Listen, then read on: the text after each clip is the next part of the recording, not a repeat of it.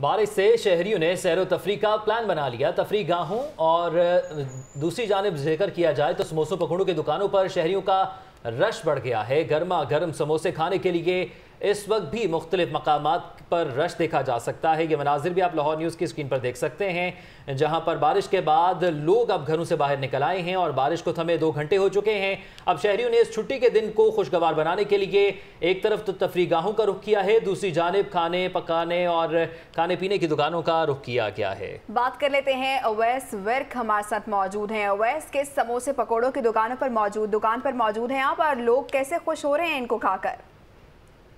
جی بالکل، جیسے ہی موسم جو ہے وہ خوشگوار ہوا تو شہریوں کی ایک بڑی تعداد جو ہے وہ مختلف تفریحی مقامات اور اس کے ساتھ ساتھ کھانے پینے کے جو مقامات ہیں وہاں کا رخ کرنے لگے۔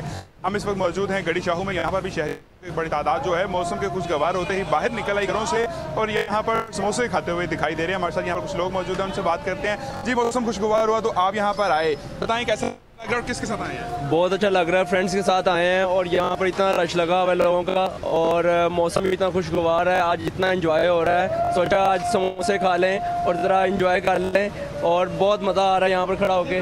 ان کا یہی کہنا ہے کہ لطف اندوز ہو رہے ہیں یہاں یہاں پر اور اپنے فرینڈس کے ساتھ یہاں پر آئے ہیں اور انہوں نے سوچا کہ موسم خوشگوار ہوا ہے دوسری جانب چھٹی کا روز ہے تو یہاں پر پہنچے اور سموسے کھانے لگے۔ اور چھٹی کا روز ہے تو مزہ دوبالا ہو گیا شہریوں نے رخ کر لیا ہے کھانے پینے کی دکانوں کا بہت شکریہ۔ اویس پر کا آپ کا تفصیلات سے آگاہ کرنے کے لیے۔